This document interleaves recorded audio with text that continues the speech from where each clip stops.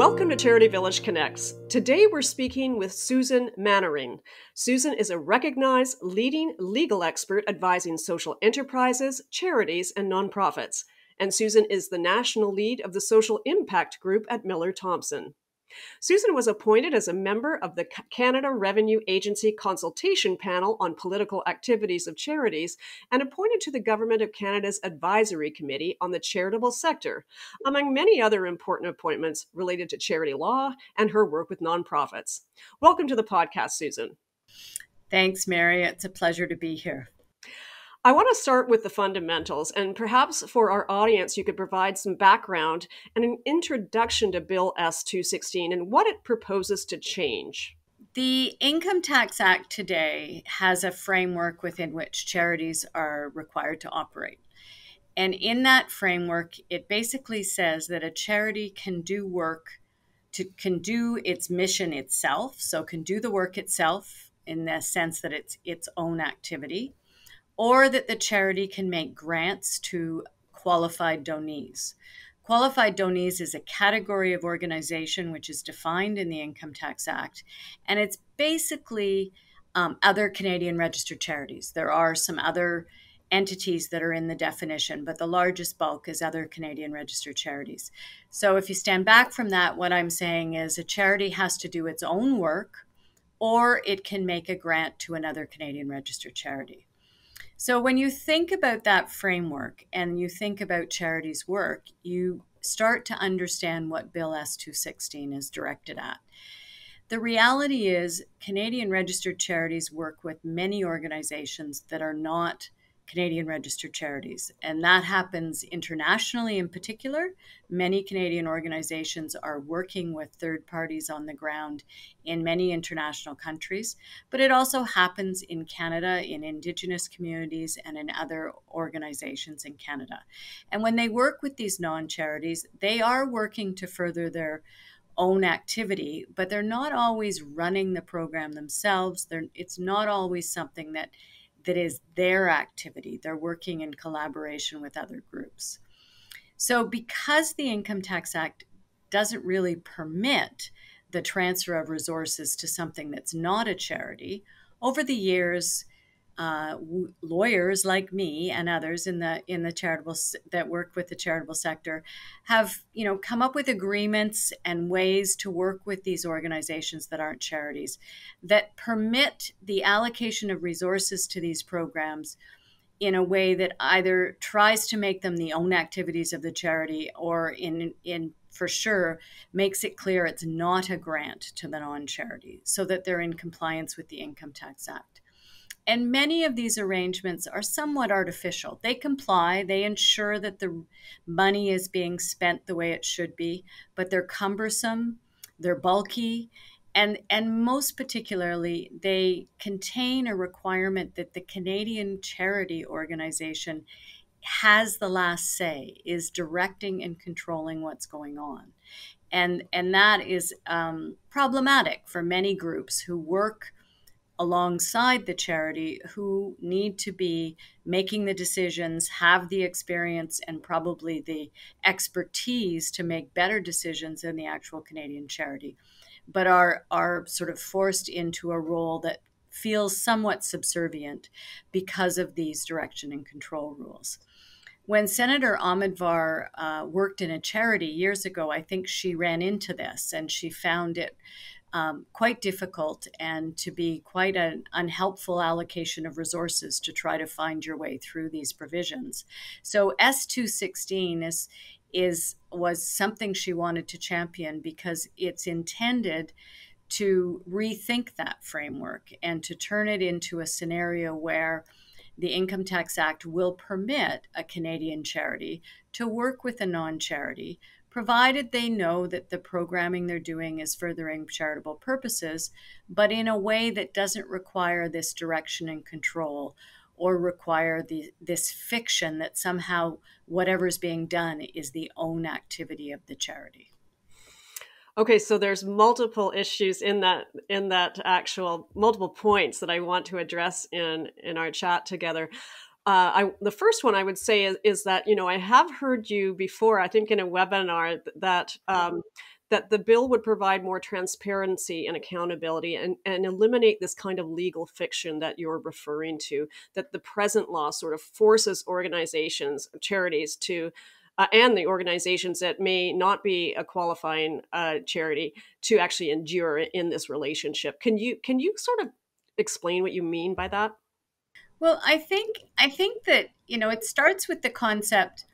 Um, let's say I'm an education charity and and I'm supposed to be teaching something, but you, Mary, are doing a different teaching thing in your own role that is is you know you've done for a number of years let's say it's teaching on public policy or something separate and and yet all of a sudden i have a program where i want i think it's important that you should be able to provide some help to some some of my beneficiaries and so all of a sudden, instead of you doing it on your own, I'm sort of saying your activity is my activity. It's sort of it's artificial. It doesn't make sense that I can't give you some resources to help you go out and run that program on your own, but in a manner which helps me with the beneficiaries that I have as a charity. So what I think what the the what would be helpful is if we understand in the law that we are transferring assets or we are giving resources to an organization that's not a charity. And that we report on the reason we're giving them is because they're doing something that is consistent with our charitable purpose but it is them that's doing it. It's not us that's doing it. And that's the that's the artificiality. And you know some of the agreements where we say it's it's actually my charity's activity not yours uh, not your organization's it's really not if you really look at the actual work being done, you're you would be doing most of it. So it really does show up as as sort of artificial when you look at it. Whereas if we had a system, which Bill S two sixteen um, supports, where I could actually, in my reporting, in my description of what I'm doing, be very clear that I'm directing resources to a non charity to do something for the for the work that I do that will further my purpose. And then, you know, the reality is you would then report on how you do what you're doing and it would be consistent. So it wouldn't be trying to me trying to own what you do. And um, and there are various different ways that we find this in coming out. Sometimes it's in collaborations, sometimes it's in um, you know joint projects. It's it's very important that that we should be able to distinguish who's doing what but we're forced into these artificial type relationships where we're not actually transparent about that. I see. So you know what i've heard senator Omidvar in our discussions with her as well she believes that the present rules that regulate how a charitable organization is able to work with community groups, for example, that don't have charitable status, are way too complex, difficult for charities to navigate, and are a deterrent to funds getting fr- to the groups on the front lines that are doing the work. Is that something that you see in your practice? Do you agree with that assessment? You know what? I do. And I think we see it in, in a couple of different ways. First off, there are 80 4,000, 85,000 charities in Canada. Um, many of them are smaller. They're not they're not large organizations, but they do great work working alongside non charities. Those organizations hear about these rules, start to understand them, and they basically back away. They don't feel they have the resources to try to figure out how they can be in compliance, and it becomes too complicated. Then you have the very large, you know, well, some larger organizations who run into these rules and say, I'm just risk adverse. We don't want to be in a situation where we're concerned that, you know, putting in the requirements for direction and control or trying to show this as a, an agency type relationship will actually expose our organization to greater risk for some of the activity or may not we may not want to be trying to direct and control these people so CRA may feel that we're not doing what we need to do. So there's lots of organizations who decide that they're just going to restrict their work with other registered charities. So that does have an impact on how broadly people are, are working for purposes of the uh, the activity that's being pursued. This the second thing that happens is that there's there are there's a lot of investment in agreements and reporting and relationships that go along with the direction and control regime that has been basically what we've been following for the last you know 40 50 years. And and you know no one is saying they don't want to be accountable but a lot of the reporting and some or some of the reporting and the requirements and the nature of the agreements are just complicated enough that they require lawyers to help with them. And then they require extra work to be done at the staffing level to really ensure that they're being complied with. And uh, my experience with CRA is is that they're very clear that you should have these kinds of agreements, make sure they're in place, and that you should follow them, which makes sense. But it is, you know, getting all those expense reports, finding out how things are being done, disclosing everything back and forth between the two organizations can be very cumbersome and time time consuming for both organizations to bring together. So I think what Senator Omidvar is that's that's where she's looking at is are we efficiently using charitable dollars to to really achieve the charitable work we're trying to do, or is the current system getting in the way? And I think many people think that it's getting in the way. And um, I've also uh, heard the senator um, stating her belief that the, the current system really perpetuates a kind of arcane law that for many people represents um, a sort of a a, feeling of neo-colonialism and paternalism because of the the actual words being used, the rules referring to a requirement of direction and control. When charities are working with non-charity partners uh, who are doing the frontline work with underrepresented groups, for example, Indigenous organizations supporting their communities, and I'm very curious about what your thoughts are around that. Have you experienced that in, in your work? Um, I've certainly experienced the pushback. Clients have, have said we have to have the direction and control, and the other organization said, "Whoa, that doesn't work. That's exactly what we're trying to work against." Um, you know, the the funny thing about this is the words direction and control are not in the Income Tax Act. They have been adopted by the Canada Revenue Agency in their administrative guidance as a result of comments made by court decisions, um, which are probably a, a, sample of how bad facts make bad law. Um, I don't, it, but but the requirement for that direction and control has been felt by many of these non-charity partners as something that is very offensive and very problematic. And you know, my experience is what is generally happening when we work with a charity and a non charity is that you have a very good meaning, well meaning charity that wants to support some excellent work on the ground that may be done by a non charity, let's say in the Indigenous community. Um, many Indigenous organizations don't want to register as a charity for various reasons for structural reasons, for historic reasons, for the, the, the relationship of governments. Um, and the work that is needed to be done is charitable.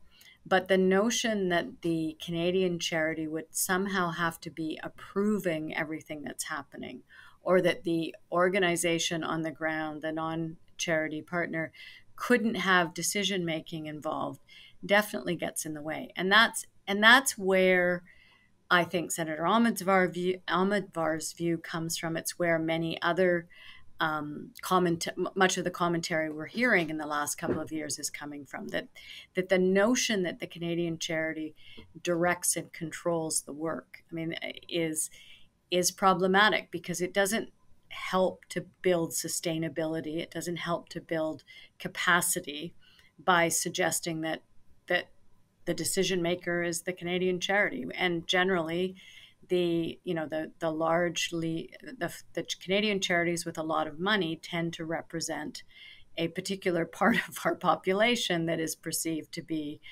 um, you know it, that taken together with that there is there tends to be a problem the um, I think you know I, I I really don't know for sure I mean the whole concept of charity has come out of 16th, 17th century England and feudal times. So there is a very paternalistic type approach to the common law of charity. So it's it's almost inherent in the charitable system that you're you know you're relieving people's poverty you're giving alms to the poor. And the reality is that today we are supposed to be doing something you know much different than that. We want to speak about it much differently than that. So i think it's it's all a part of that that we're seeing uh, in the reaction. But helping our system by getting rid of direction and control would certainly take us forward. If we could create a, a framework where we could work alongside non-charity partners and work with them that would be i think would go a long way to removing this this view. Well i, I want to sort of um, address this issue of uh, working with indigenous or bipoc charities um, or non charitable organizations. I've spoken to some for this podcast who say that there are many Indigenous and BIPOC charities that charities can easily work with under the present system, but the money just isn't flowing for reasons that there just isn't a will to do so among many foundations and charities, and that it has little to do with the complexity that's the the complexity that the sponsors of this bill say is the deterrent to this money flowing to those frontline workers, those community groups, and that it's really a deeper problem than than technical issues. And I'm curious what your thoughts are about that observation. I think the reality is that there are issues about how we fund organize, you know, in our communities. That there are racialized communities that have have less have seemingly had less access to funding indigenous communities who have struggled. And the reasons are many. I don't think you can point to one area or another for the for the solution. I think that the solution however is in order to enable it we have to remove the barriers that we can.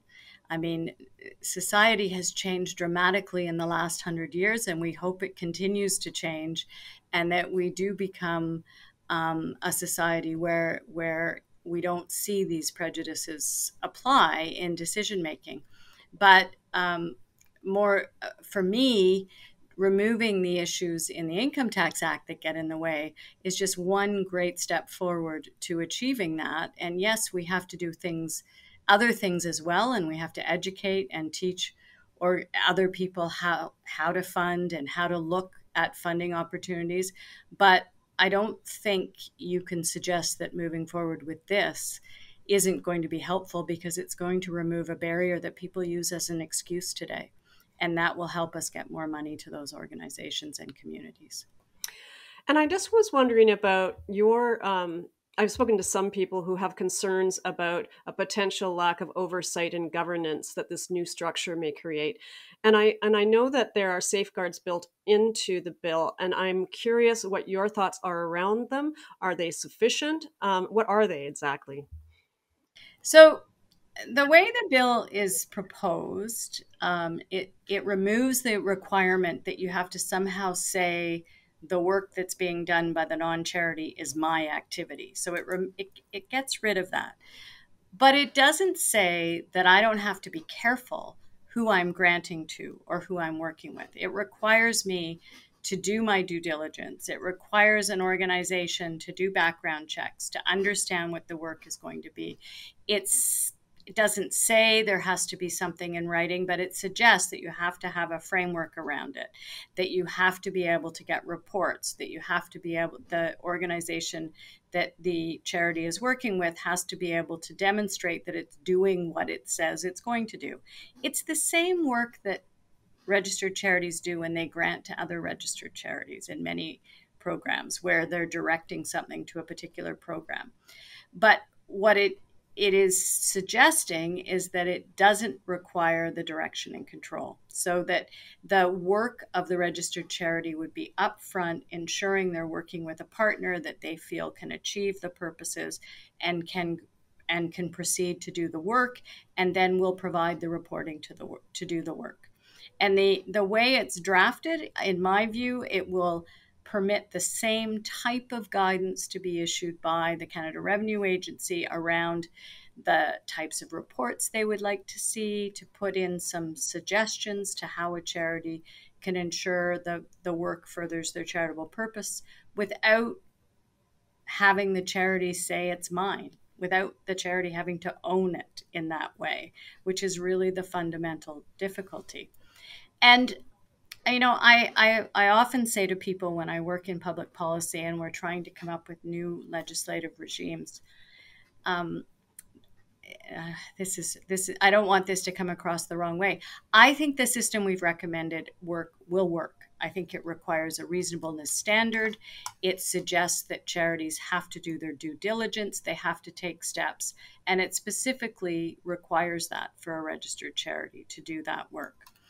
Um, today, there are, even under the direction and control system, there are abuses that happen. And those are because people intentionally want to do things that are outside of the Income Tax Act and they won't want to do things improperly there's no change we make that will ever guarantee that that doesn't happen because people who want to break the law will break the law. But I don't see that this new system really is increasing the risk of that. I think the new system is very similar to the system in the US. It's very similar to the system that has been used for years in the United Kingdom.